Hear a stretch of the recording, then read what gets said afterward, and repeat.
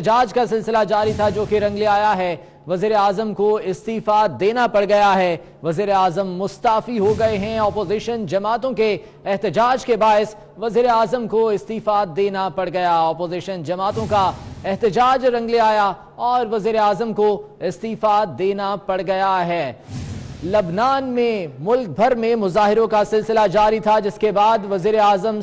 Hariri نے استعفی دینے کا اعلان کر دیا ہے سعد حریری نے